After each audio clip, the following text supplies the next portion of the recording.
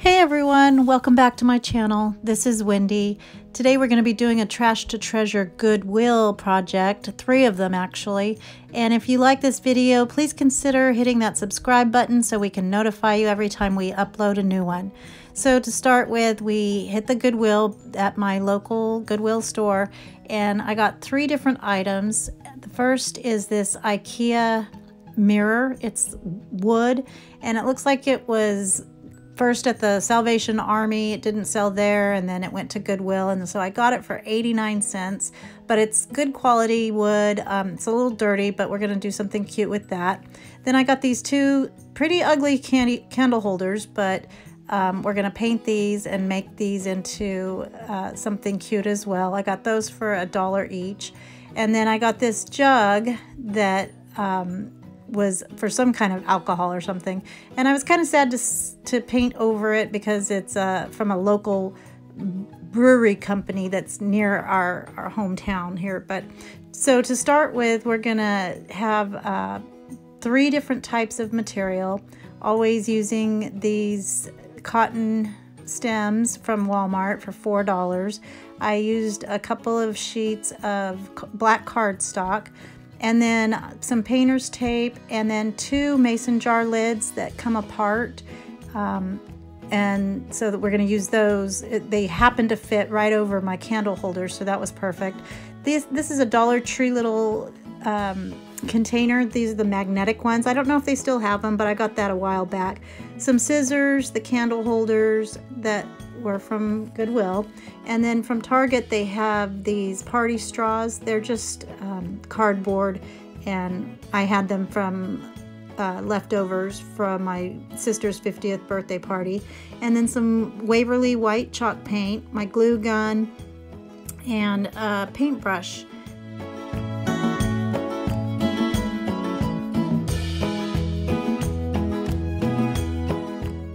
So we start off by painting the candle holders and I just used the white chalk paint. It covered pretty well, but I did end up doing uh, two coats and it looked really good and the finish was nice and smooth once it dried.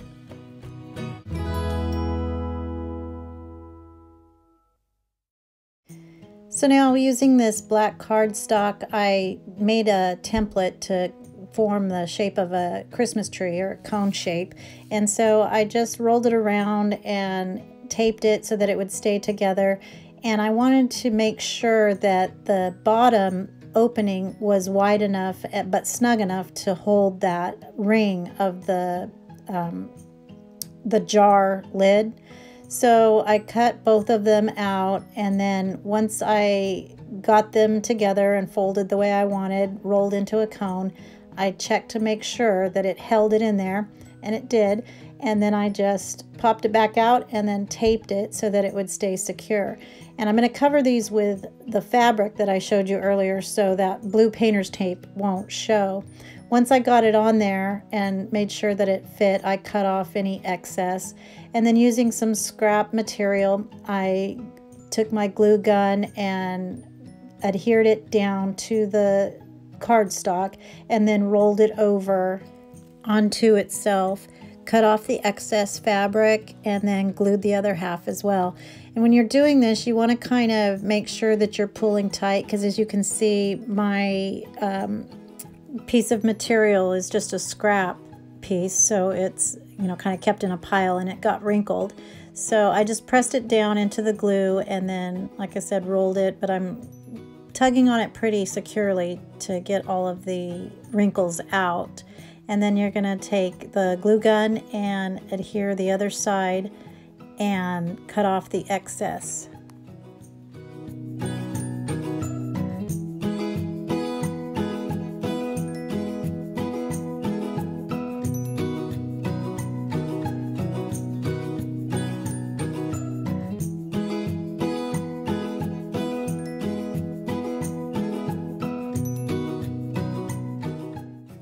So now taking the rim of that lid, I'm putting hot glue on the inside and just gluing it to the top of that candle holder. And then after that, I am finishing the edges at the bottom of the tree with glue and then just um, folding it over. And if you do it real quickly, this is a low temp hot glue gun, but it doesn't burn. So if you kind of just push it in there real quick, it, it goes perfectly. So this is kind of what it's gonna look like. And I'm just gonna do the same thing, but I'm gonna use the solid black fabric and just use the same method of gluing and rolling and cutting off the excess.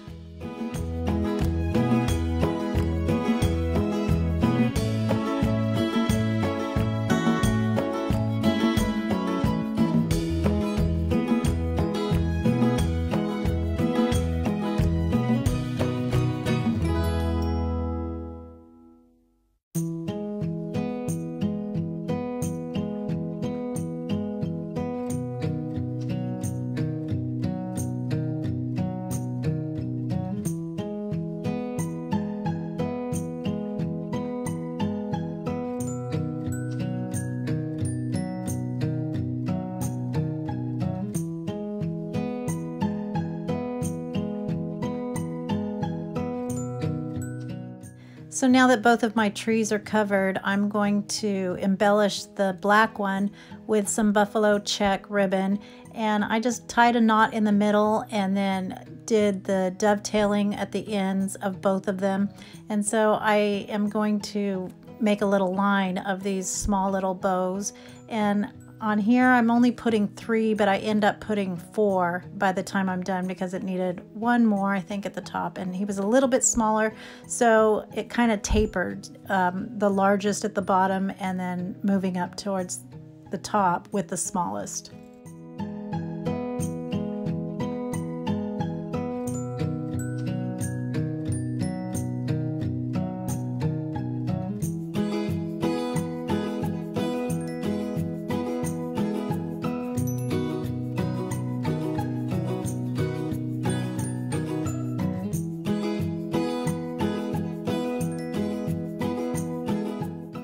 Now I wanted to make sure that these looked like Christmas trees, so I thought they needed stars on top. So what I did was cut these uh, cardboard straws in half and then I angled the tops just using a pair of scissors and I kind of cut them in different angles so that they wouldn't all be the same.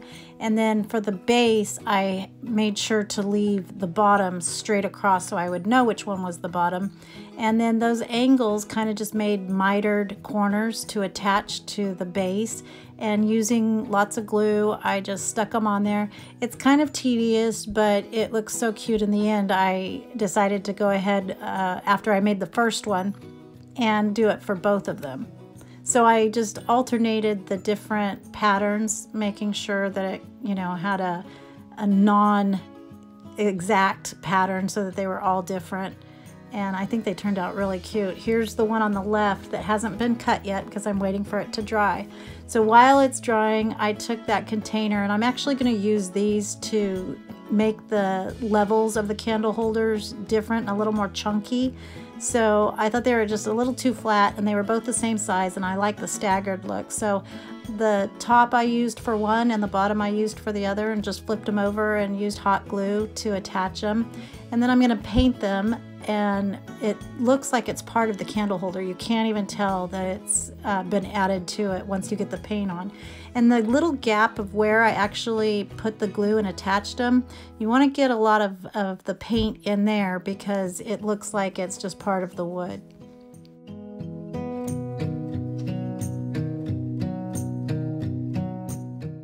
So after the glue had dried on the straws, I went ahead and cut the little parts of the star down and I used an angle again and I alternated these as well just randomly so that they weren't all the same direction.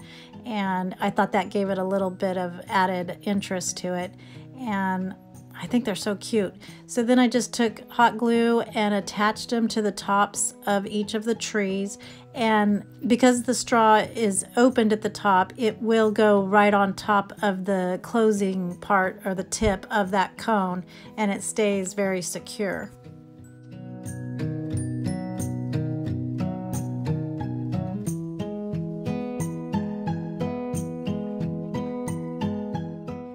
Now, if you've watched any of my other videos, you've seen me use the same black bow for quite a few of my DIYs. They're from a bunch of centerpieces that I had for my sister's 50th birthday party. And so they're always coming in handy and they're the perfect uh, size. So now I'm gonna go ahead and distress the candle holders with just a very, very dry brush of some gray and black and white and just rubbing very most of it off. I'm gonna take the brush and just rub it over the raised areas just to give it a distressed look and to kind of combine where I added those container parts to raise the candle holders. So I think these turned out super cute and once you put the tops onto them, here's how they turn out.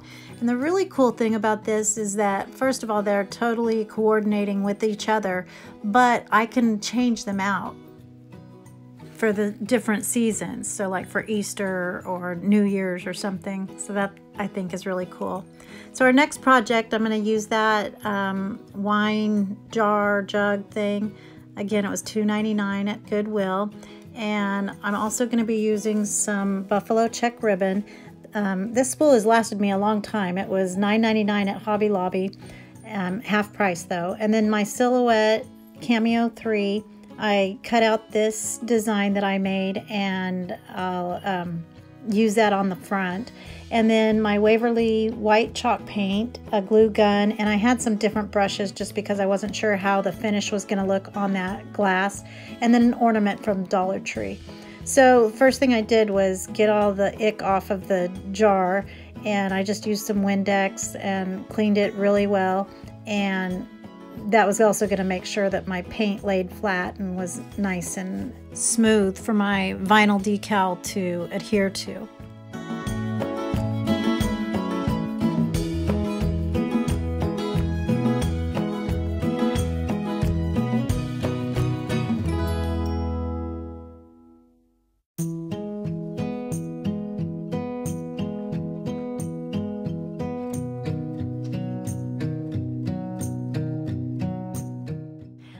Ended up giving this uh, two coats of the white chalk paint and because there's drying time in between I put it on top of a paper towel so I could slide it over while I was working on something else. And then I had a small little paintbrush that I used to get into the little nooks and crannies behind the handle and I also painted inside the the bottle opening.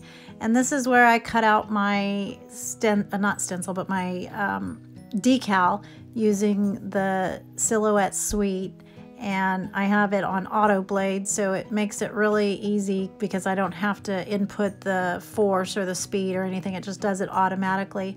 So once I pulled off the main part of the vinyl then I just went ahead and weeded it. And this is a kind of um, intricate little pattern. It has really thin lines as well. So you have to be careful when you're pulling up the vinyl not to take any of the letters with you. So I'm getting better at using my uh, Cameo, but I got the best um, advice from a subscriber, new subscriber, Gina Cole, who told me to put the transfer tape on a pair of jeans to kind of make it less sticky. And so I did that. And I mean, it was just completely a different world. So thank you, Gina, for reaching out and giving me that little nugget of wisdom that I will use forever. So once I got it transferred over, I'm to decide where I want it on my jug and then just press it down. Um, start in the middle before you get it on there because it will stick pretty quickly. So and then just using my little squeegee tool, I pressed it on there and made sure that it stayed down. And then look how easy this is coming up. I love it. So this is a whole new world for me because I've always had trouble with the transfer tape for some reason. But here's how it turned out and I think it's super, super cute. So now I'm going to make a little bow for the top and I need to make it semi-small because the jug is, you know, it's not huge, so I don't want my ribbon to uh, cover my words because they're so cute. And so I just um, folded the ribbon over itself and then just with one loop on each, each side. And here's where a second set of hands would come in handy like my granddaughter, but I just uh, tied a piece of jute twine around it to make the bow. And then the dovetailing at the end always makes everything look so cute. But um, when you have the two tails, one of them will be in front. So you just want to kind of maneuver that towards the back so it, it's not sticking out in front. And then I took the Dollar Tree ornament that I love, these little skis, and just uh, used hot glue and adhered that to the front of the bow. And I think he turned out super cute too.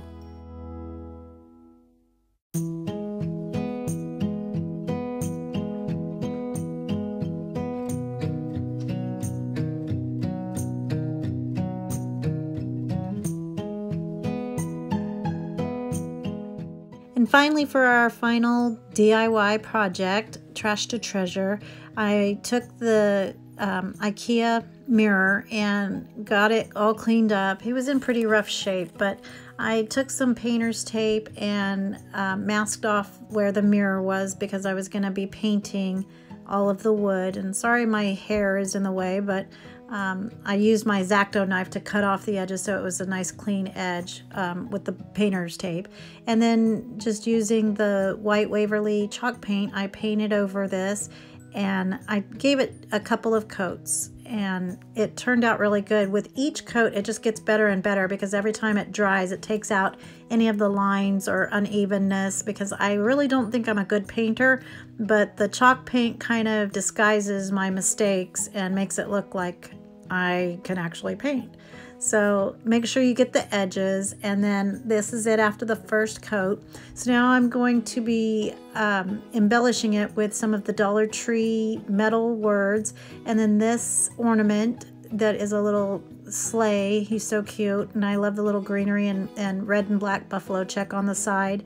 And then a piece of scrap gingham and then of course another one of my handy dandy pre-made centerpiece bows. So for the second coat, I just kind of got it wet and wanted to keep the idea of what the original wood looked like and it had those really nice thick um, mitered edges on all four corners. So here, after I laid down the first, that second uh, coat of paint, it's wet enough that I can take my sponge brush and go at an angle to kind of show off those lines because I really liked it. So you'll go at the line, but then just go halfway up. So your brush is at a 45 degree angle. And I think it turned out really cute and kind of looks like it is, it was mitered this way with, with the white wood. So now I had to decide which word I wanted to use. And I think um, because the word believe was the longest, I wanted to um, have something go all the way across. So it was the perfect size and it kind of went with the theme of the little sleigh, like, you know, if you believe in Santa or, you know, Saint Nick since I'm Catholic. But I just pulled off or bent down the little part that hangs on as an ornament where the twine was. And then I liked the little gar uh, embellishment on the side here, but I wanted to make it a little more substantial. So I took him off. He was only attached with a piece of wire and then just kind of deconstructed him, gave the little buffalo check uh, bow some dovetails, of course, and then added a piece of greenery that I have a bunch of these, I think from an old tree or one of those miniature trees. And um, oh, you know, I think what those are the little twisties. You can buy the twisties at Dollar Tree that are actually greenery, and I use those to hang on. Um, ornaments so that you're not seeing the silver hanging mechanisms, you know. So anyway, then I just um, glue gunned everything together and then put the little uh, miniature pine cone on there. And I think that made him a lot cuter. Now, you know, I love to pull up some tape. And I don't know why, but this is so therapeutic and you can see the results instantly. I guess I like the instant gratification, but um, when I pulled this tape up, it had perfect lines and just clean off your mirror. And then it was ready to, you know, get embellished. Now you could go two ways with this. And if you like, I, I like this look. This was kind of a more modern look and clean lines. And if you just have the red uh, buffalo check, if you were just decorating in the red and black, that would be perfect. I think it looked really cute. But I had to add some of the black and white because that's what my decor is.